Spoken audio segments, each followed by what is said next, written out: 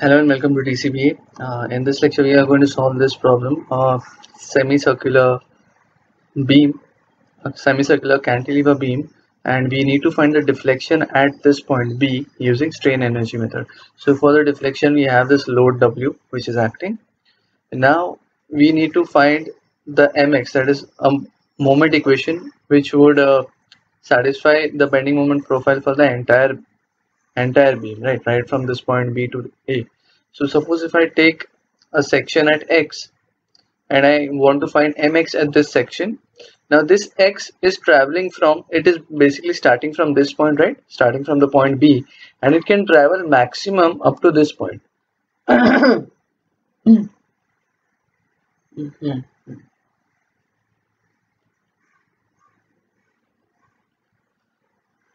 and it can travel maximum up to this point.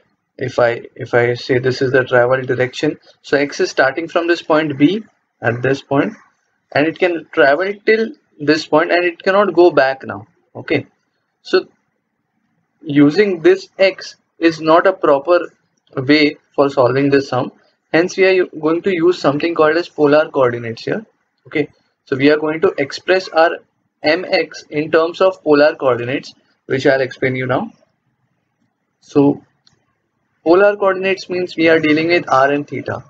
So if you see this x can be represented in terms of r and theta where x is equal to r sine theta isn't it if if we consider this as a right angle triangle then uh, sine theta is obviously x by r so x is r sine theta mx is equal to minus w into x right? If I take mx here it is equal to minus wx minus because this is creating a hogging moment right? It is creating a hogging moment here. The this w is going to take this beam downwards like this. A moment of, of clockwise which is going to take it downwards which gives you a frowning face and frowning face is negative or basically a hogging face therefore it is minus wx so we can write this x in terms of r sine theta. So it is minus w r sine theta right? Mx square will be equal to w square r square sine square theta isn't it?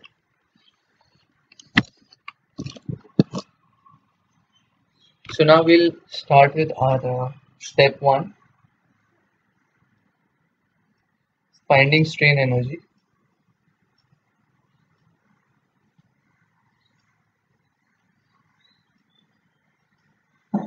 Okay. So first is member which is AB second is origin which is equal to O. Alright? Yeah now where is O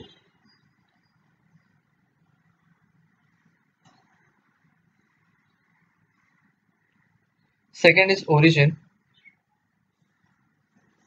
Origin is the point from where your x starts, but now we are not using x, okay? Now we have converted x in terms of theta. Now the variable is no more x. x is not going to vary from this point to this point. We are basically varying our theta. So theta is going to travel from this, this is the starting point, and it is going to travel all the way till this, okay? So it is going to travel 180 degrees. So theta is your parameter now. And from where is the theta starting? Let's say theta is starting from o. So our origin is o.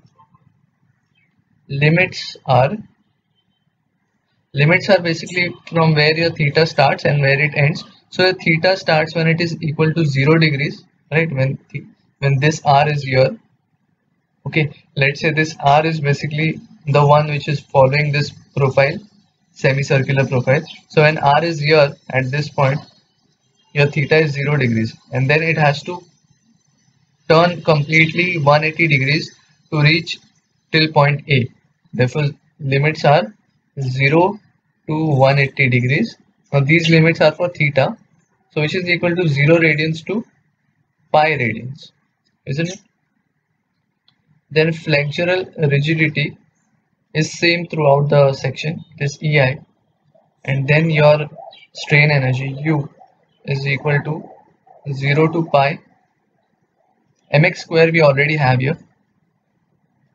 Mx square dx upon 2 ei now what is dx okay uh, if we consider a straight beam which we have seen previously and if we want to apply this formula for this beam then dx is a very very small portion of your beam okay? dx is a very very small portion of your beam. So if i have to take dx in this semicircular beam let's say this this small portion is dx okay? So and it is forming an angle of d theta okay? I'll draw it with a different pen. So this is forming an angle of d theta okay. So what is this dx? dx is an arc right it is an arc here. So dx is an arc here and dx can be written as dx is equal to r into d theta. This is the arc formula right? dx is equal to r into d theta. So that we are going to substitute dx as r into d theta. So this is equal to 0 to pi mx square is w square r square sine square theta into r d theta divided by 2er. So we can take w square r square into r divided by 2er outside We'll get w square r cube upon 2 ei. Inside we are left with 0 to pi sine square theta into d theta. Okay, now we have one formula for simplification of sine square theta. Uh, sine square theta is okay.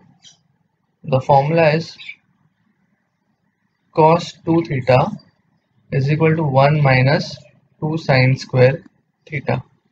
Okay, so if I have to uh, isolate sine square theta here, it will become sine square theta is equal to 1 minus cos 2 theta divided by 2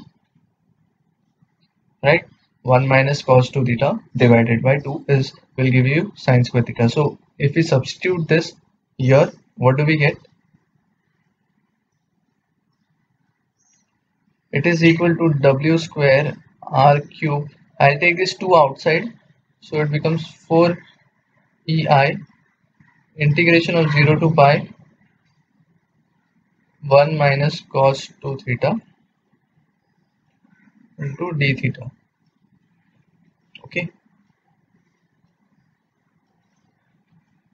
So u is equal to w square r cube upon 4 ei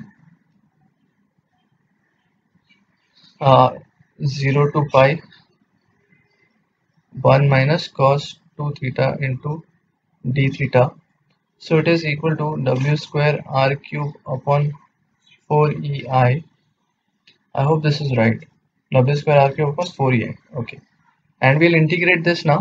So integration of 1 with respect to d theta is theta and integration of cos 2 theta is sine 2 theta divided by 2 and this goes from the limits of 0 to pi. So it is equal to w square r cube upon 4 ei into pi minus 0 right? Sine of 2 pi is basically sine of 360 degrees which means it is 0 minus 0 minus 0 so what do we get here? We get as pi by 4 w square r cube upon ei this is your strain energy. And now step 2 is equating strain energy with equal to external work done. Right this formula.